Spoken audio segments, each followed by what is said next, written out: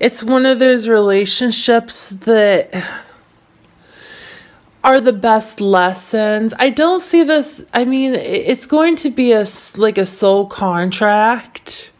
I feel like a soul contract. It, it there are some major life events in here. We have the Welcome, Leo. I love my Leos. Thank you so much for joining me today. I don't know. I think I'm going to keep this light on. Little extra lighting. I love my Leos. Happy Halloween. Um, I'm doing this Halloween of 2020 but anytime that you get this reading it's your reading if you claim it um, this is not a pick a card or pick a pile this is a regular tarot reading for the zodiac sign of leo who your next relationship is going to be and I'm going to be asking the cards nine questions. We're going to be using a really spooky deck.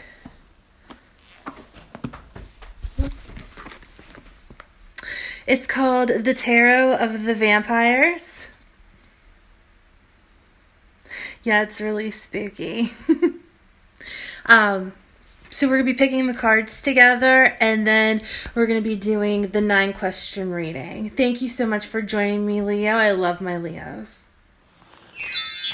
Come with me and you'll see inside Enchanted Mirror Tarot. Look inside, you can't hide from Enchanted Mirror Tarot. Welcome, Leo. Um, I actually did this reading live, and you can find that live stream where I picked all the cards. I forgot to press record, um, so I had nothing for the main video, so I have to do it all over again. And um, I. I mean, I already picked the cards. It's already on video. You can find it on the live. I apologize. But um, we're going to go through this again.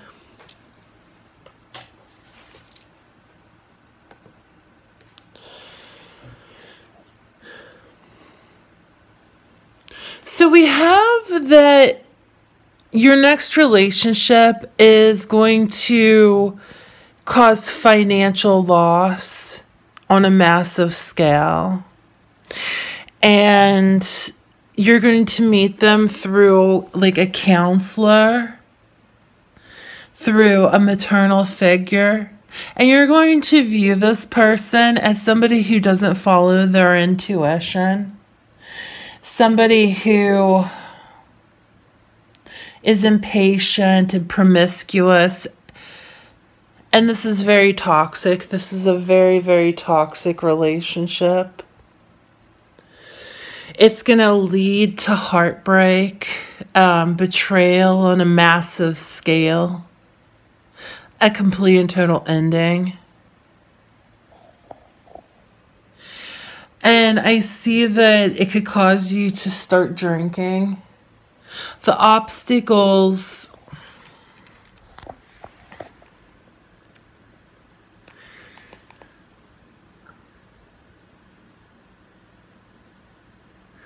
I see that there's a lot of change here. There's a lot of frustration. And I see that it causes you to say things. Like I see like verbal like the communication the biggest obstacle would be communication and delays frustration. There's a lack of growth here. There the, it didn't have time to develop. And I see that it leads you to be disempowered, to be outside of yourself. And it teaches you to ultimately be careful who you trust. To ultimately be careful who you trust. It's one of those relationships that are the best lessons. I don't see this, I mean, it's going to be a like a soul contract I feel like a soul contract. It, it There are some major life events in here. We have the High Priestess in reverse.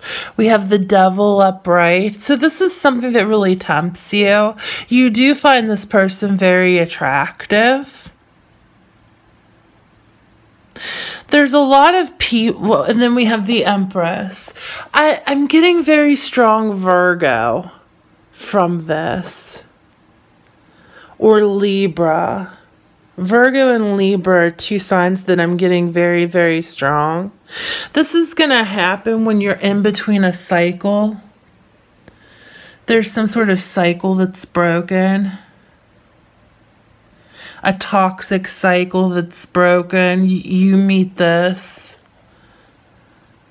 But it's a very important lesson that you're going to be learning, something that you need, that your soul needs to learn in order to elevate. This is a life path on the fool's journey. It's something that everybody has to go through.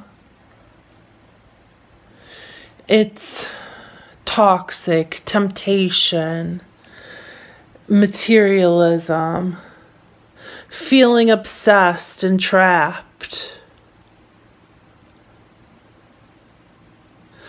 Yeah, this is going to be very painful with these two cards. Very painful.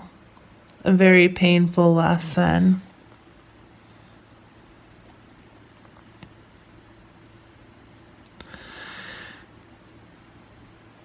Yeah, I see that this tears people apart. Um, there's a lot of like temper tantrums here, a lot of histrionics, a lot of defensiveness.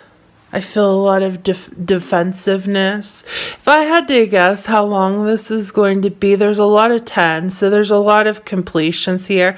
It's going to be when you're in between a cycle. It could be anywhere 10 days, 10 weeks, but 10 is definitely going to be in the number.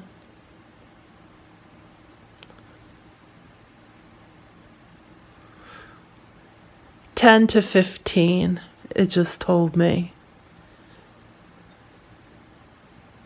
There's a lot of women here. There's a woman who is um, very bad with finances. There's a woman here who is out of date, uh, very self centered, who's envious of a lot of people and doesn't build herself up. There's a uh, mother figure, a, a psychic, somebody who's totally absorbed with her creation. We could be dealing with a Pisces because both of these are cards of Pisces. Then we have another woman who just speaks her mind.